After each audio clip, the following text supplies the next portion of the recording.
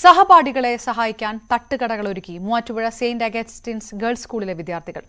K S R T C bus ഡിപ്പോയ്ക്ക് സമീപത്താണ് girls night out എന്ന് പേരിട്ടിരിക്കുന്ന ഈ തട്ടുകടകൾ. ഈ റിപ്പോർട്ടോടുകൂടി വാർത്തയിൽ നിന്ന് പൂർണമാകുന്നു. നമസ്കാരം.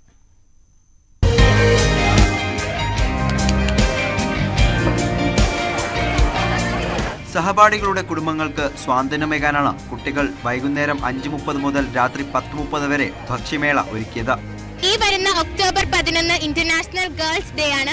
ഈ ഗേൾസ് ഡേയോടനുബന്ധിച്ച് ഞങ്ങളുടെ തന്നെ വിദ്യാർത്ഥിനികളായ ഒന്ന് രണ്ട് കുട്ടികളുടെ പിതാക്കന്മാർ കിടപ്പ് രോഗികളായതിനാൽ അവരെ സഹായിക്കുവാൻ ഒരു ചാരിറ്റി എന്ന രീതിയിലാണ് ഞങ്ങൾ ഈ തട്ടുകട എന്ന ഈ ഫുഡ് ഫെസ്റ്റ് ഞങ്ങളുടെ സ്കൂളിൽ തന്നെ പ്ലാൻ ചെയ്തത്. പെൺകുട്ടികളെ സ്വയം പര്യാപ്തരാക്കുക എന്ന ലക്ഷ്യം കൂടി ഈ പരിപാടി പരിപാടിക്കുണ്ടെന്ന് Muvattupuzha M L A Mathew Kuzhalnadan പറഞ്ഞു.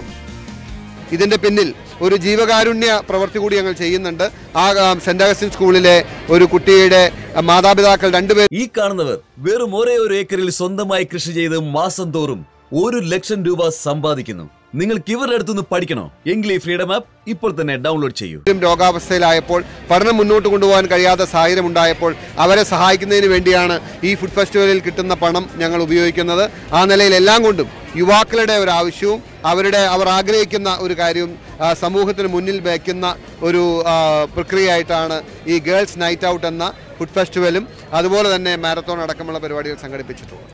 വിദ്യാർത്ഥികൾ ഏറ്റെടുത്ത ദൗത്യം സമൂഹത്തിന് മാതൃകയാണെന്ന് സ്റ്റാൾ സന്ദർശിച്ചവർ പറഞ്ഞു. തങ്ങളുടെ കൂടെ പഠിക്കുന്ന സഹപാഠികളുടെ നിർധനാവസ്ഥ കണ്ടിട്ട് അവരുടെ ആർക്കും തണലില്ലാത്ത അവരുടെ ആ ഒരു അവസ്ഥയിൽ അവരെ സഹായിക്കാനായിട്ട് അവർ കണ്ടെത്തിയ ഈ ഒരു ആശയമാണ് നമുക്ക് നമുക്കെല്ലാവർക്കും പ്രചോദനമാകുന്നത്. മന്ത്രി റോഷി അഗസ്റ്റിൻ അടക്കമുള്ള പ്രമുഖരും വിദ്യാർത്ഥിനികൾക്ക് പിന്തുണയുമായി എത്തി. News eighteen Muvattupuzha.